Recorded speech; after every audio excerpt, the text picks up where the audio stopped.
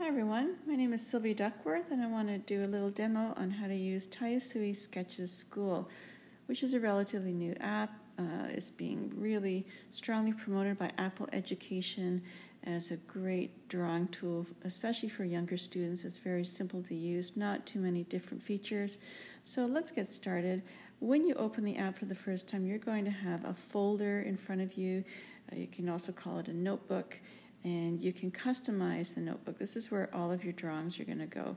So there's a gear on the bottom right hand corner. If you tap that, there's different designs of the notebook or the folder at the top that you can choose from. The bottom, there's different colors. Scroll to the right, there's more colors there. If you tap on drawings, you can also use one of the drawings that they have in the app made for you, or you can use one of your own drawings once you've started drawing in this app. I'm going to stick with colors. I'm going to go with the hot pink. I'm going to tap on the check mark. So my folder is ready to go. If I scroll to the left, there's an option there to create another folder if you tap the plus sign. This folder here has uh, everything that you've put in the trash will be found in that folder. Scrolling to the right, there's two folders or two notebooks here that the app has for you already. And if you open this one up, it shows you what all the different tools in this app look like. So that's the pencil tool, that's the pen tool, there's the felt pen, that's the paint pen, the pastel, and so on. Just keep on scrolling. You can take a look at what all the different tools do. So I'm just going to close that. Scrolling to the right, this folder or this notebook has features of Sketches Pro. So if you want to buy, if you're considering buying the full version, the Sketches Pro version, take a look at that folder. It'll show you what the features are. So I'm just going to go back to my folder or to my notebook and I'm going to tap it to open it. Then I've got some um, canvases here. I'm not sure why there's two canvases. Normally there's just one. It's probably because I was playing with it before. But if you want to delete anything in the folder, it's just a matter of tapping on the trash can, tapping on the drawing, and then tapping trash to get rid of the drawing.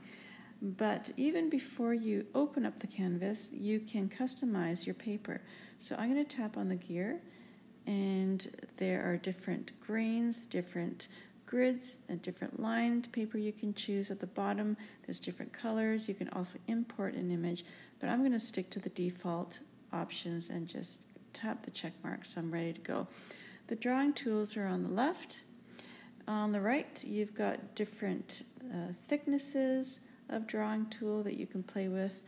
Um, I'm not going to go through all of these drawing tools because you can play with them on your own. I want to draw your attention to the top left hand corner. That's the undo button. There's a little arrow there. You can also just undo by swiping two fingers to the left will undo as well. But uh, let's go down. This tool here is the watercolor tool. At the very bottom right hand corner, if you tap that colored square, that'll bring up your palette. You do not have the opportunity to add any colors to your palette, so you're restricted to these colors. So I'm going to just choose a blue. I've got the watercolor pen on, so I'm going to do just a little bit of watercolor here so you see what that looks like. It's quite pretty. The next tool underneath that has this funky kind of splattering effect. And then the one underneath that, you can have different fonts here. So if I tap on a font and I tap, I type out a word, then I hit the keyboard icon the bottom right hand corner to get rid of that. I can actually drag the word around. I can make it bigger or smaller. I can angle it as well. And then at the very bottom, I'm going to tap the check mark when I'm done. There are different shapes here that you can choose as well. I just tapped on one. If I want to change the color of the shape, I'm going to tap back on the color icon in the bottom right hand corner and choose the color I want. I can make the shape bigger, smaller, or bigger. I can turn it around. Tap the check mark when you're done placing it. And I'm going to get rid of that tool. Now I'm going to go to this tool, which is called the paint roller tool or the roller tool. You've got different um, opacities that you can choose. This tool does a couple of different things. Number one, you can draw a shape and it will automatically fill in with the color that you have um, pulled out already. If you want to change the color, just tap the palette, change the color and tap on your object, which will change the color.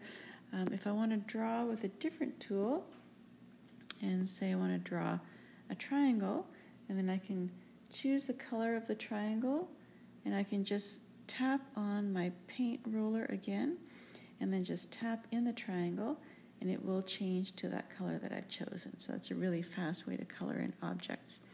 The eraser tool just gets rid of everything.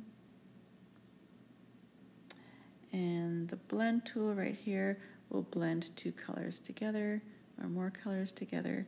The cutter tool is really neat. The cutter tool, you can cut around an object, you can make it smaller, you can make it bigger, you can place it somewhere else, and you can twist it around so the cutter tool can come in really handy as well. And then there's the ruler tool where you can make straight lines.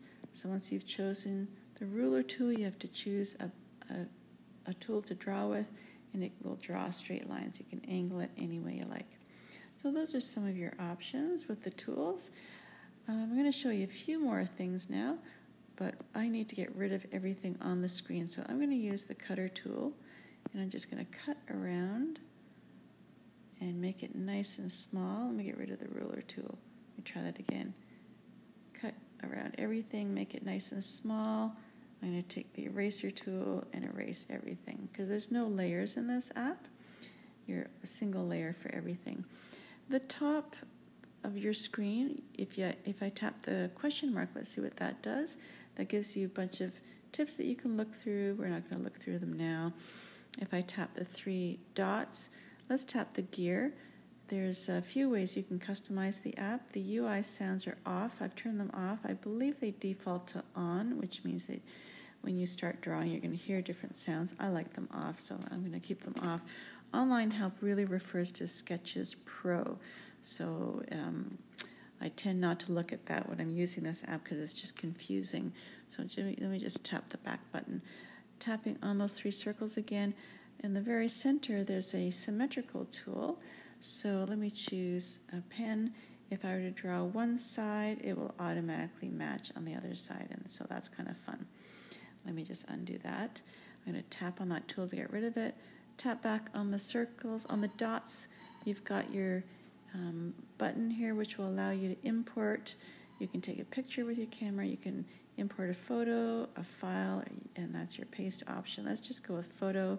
Let me just find one of my photos that I'm going to import and trace on top of. So there's what we had for dinner tonight. I can change the transparency of the photo like this. Once I'm done, I tap the check mark you cannot change the size of the photo, unfortunately. It's always going to be large. But I'm going to trace our dinner tonight. No, I actually want to use a black pen. So let me just find a black pen. I'm just going to go ahead and trace it as well as I can.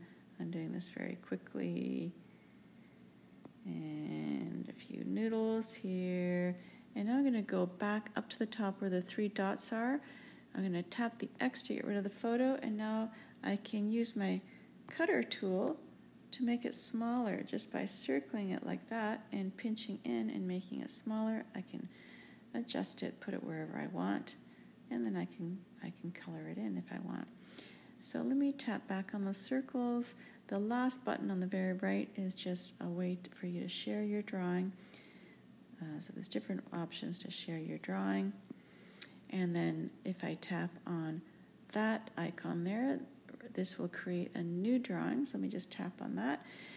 Uh, I can tap the plus sign on the left to create a new drawing. If I want to delete the drawing I just did, I just have to tap on.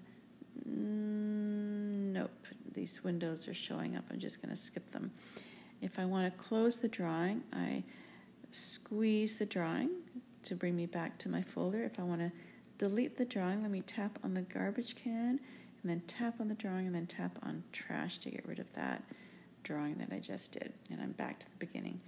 So that is the basics of how you use this app. I'm just going to scroll the notebook to the left to close it again. Uh, I think your students are going to have a lot of fun with this app. I'm really looking forward to seeing what you and your students create. But give me an email if I've forgotten something in this app, or if you have any questions, drop me a line sduckworth100 at gmail.com. And thanks for watching. Have fun creating. Bye for now.